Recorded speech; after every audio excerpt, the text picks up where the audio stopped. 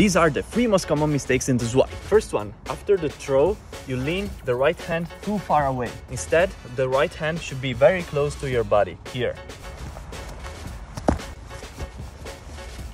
So if you lean the right hand close to your body, the circle will be much wider. Second one, your hip is too low, like this. Instead, you should push it up.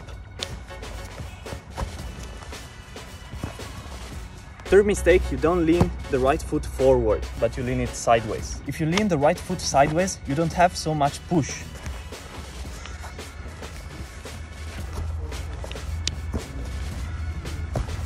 And